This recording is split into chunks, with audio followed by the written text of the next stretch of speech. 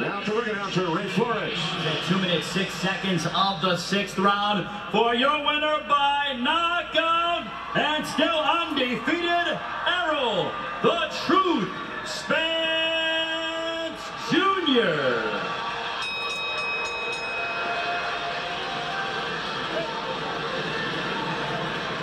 So Errol Spence Jr. remaining on team, his trainer Derek James, a former pro. Errol is with our Dave Briggs. Dave. Thank you, Kenny Errol. Congratulations. You said you didn't come here to win. You came here to put on a spectacular one-sided performance. Is this what you had in mind? Um, yes, sir. I was going for the knockout. I'm fighting on NBC prime time, and I want to put on a great performance in front of these beautiful fans. It was a match where he came out strong, tried to make that opening statement. Did you sense that the tide was turning in that fifth and into the sixth?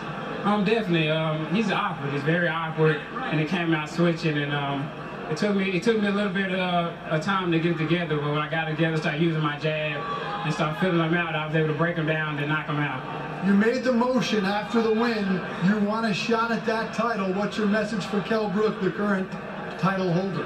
Come on, you know his manager said that I that I um, didn't want to fight him, so come on, he can drop out of Triple G fight and fight me right now. All right, over your right shoulder is your dad. He brought you to a gym when you were 12. You hated it in Texas. He made you stick with it. What's your message for dad for making you stick with it? I'd like to thank him and tell him I'm bringing the world title home. All right, so let's talk about that world title. When do you want a shot at Kell Brook or whomever that challenger may be?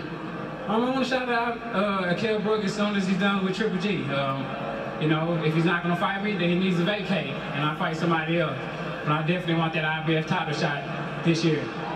All right, let's take a look at the video in the sixth round when this thing turned. Describe your two knockdowns and what happened. Um, I seen he was hurt. I seen was hurt the first time when he dropped his mouthpiece. And then when I hit him again, I seen he was wobbling and his eyes kind of rolled back his head. And that's when I jumped on him and went for the kill. And here you get another shot, and it was good night. Talk about that. Oh, that's great. That's what you want. That's what I look for. You know, my slogan is man down. You know, that's, that's what I try to do every time I come to the ring. This has been a unique venue and a very partisan crowd. You have a lot of friends and family here. What did that support mean? The support meant a lot. Um, you know, I didn't think everybody's gonna come out like this, but they came out and they supported me, and I love them.